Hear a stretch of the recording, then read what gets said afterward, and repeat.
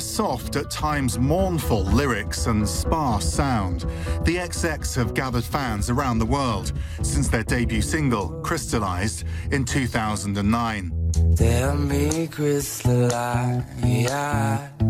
They've made it onto Saturday Night Live in America. Ladies and gentlemen, the XX.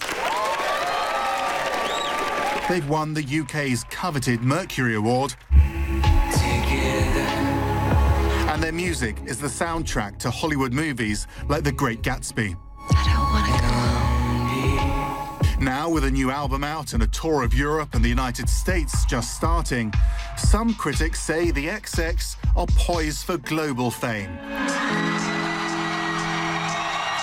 But the group of three shy friends who first met at school in London say more than anything, they're passionate about making music that everyone can relate to. So we don't have he or she, um, it's just you and I, and we don't have time and place. So we want it to be able to reach people no matter gender or sexuality or um, where they live or what they're going through. Uh, we, we hope it would, would be open. And it comes because Oliver and I are both writing in the songs and you know it kind of helped that we didn't have he and she. Are you in a room together when you do it, or do you do it remotely, or how does it work? We used to be very separate, and it used to be a case of um, emailing each other, I suppose. Um, but over time, especially on this album, we've um, sat in a room together and discussed.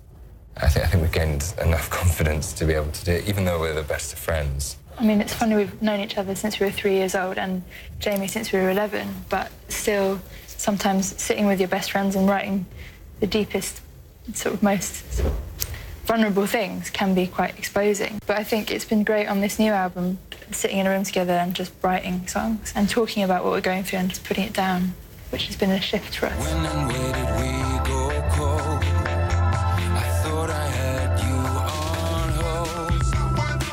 Hardcore fans are going to notice a big difference from the other two albums, right? So how would you define the difference? How have you changed? For us, it's like, it's been quite a slow progression.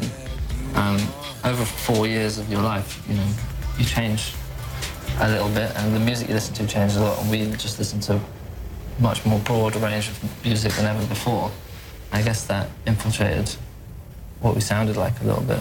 It's interesting because some people that aren't necessarily into your type of music know your music, don't they? Because it's been sampled so much. It has been sampled. It's also in a lot of TV shows. It's funny sort of saying the idea that people might know our music, might not know us. Yeah. And I think in the beginning that was a conscious thing. Our artwork is an X.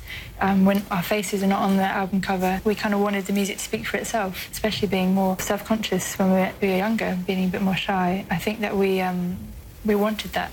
We're getting, we've kind of grown into being in front of a camera now but it was it was difficult in the beginning. The XX is a band still very much getting used to its fame and quietly shunning the celebrity culture of modern pop music. Max Foster, CNN London.